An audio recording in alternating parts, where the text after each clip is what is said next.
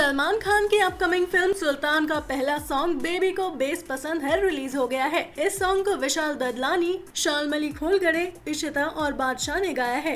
Reports की माने तो पहले इसे मेका सिंह गाने वाले थे, लेकिन सलमान खान ने उन्हें बादशाह से रिप्लेस कर दिया। ट्रेलर में आप अगर इस गाने की लाइन को सुने तो साफ़ समझ आता है कि उसे मेका ने गाया है। अब उनके रिप्लेसमेंट का कारण क्या है, ये तो सलमान या मेका ही बता सकते हैं। बेबी को बेस पसंद है एक हरियाणवी वेडिंग सॉन्ग है, जिसे इरशाद कामिल ने लिखा है और इसे म्यूज़िक विशाल एंड शेखर ने दिया है। इस सॉन्ग में सलमान और अनुष्का की डांस जुगलबंदी देखने को मिल रही है।